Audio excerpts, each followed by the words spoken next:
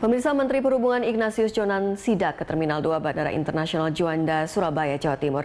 Kedatangan Jonan ke bandara itu termasuk rangkaian sidak arus balik lebaran di sejumlah tempat angkutan umum yang digunakan pemudik di sekitar wilayah Surabaya.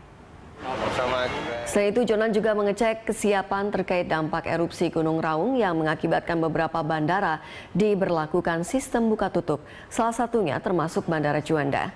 Pada kesempatan ini, Jonan menghimbau kepada petugas serta maskapai penerbangan segera memberitahukan kepada calon penumpang jika terjadi penutupan bandara akibat dampak abu vulkanik Gunung Raung.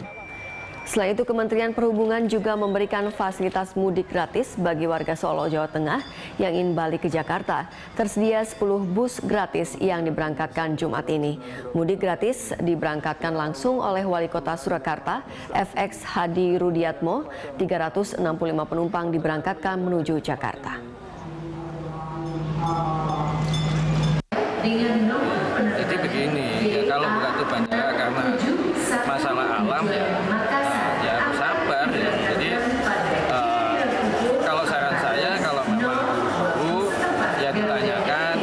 solusinya bagaimana kartu perpajakan sampai kapan walaupun nggak bisa tahu persis ya. eh, dan kalau memang buruk sekali bisa cari